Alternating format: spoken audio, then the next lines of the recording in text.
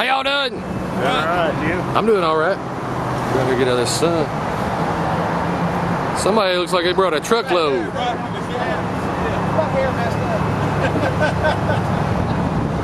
Who brought all this? George Harden and Harden Lee Terry. Where's George? What do you say, DJ?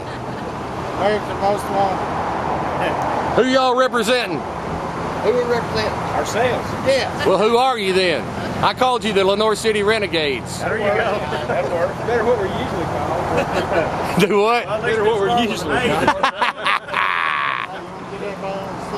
Yeah. Yeah, get everybody on steps. Let's get a picture. Get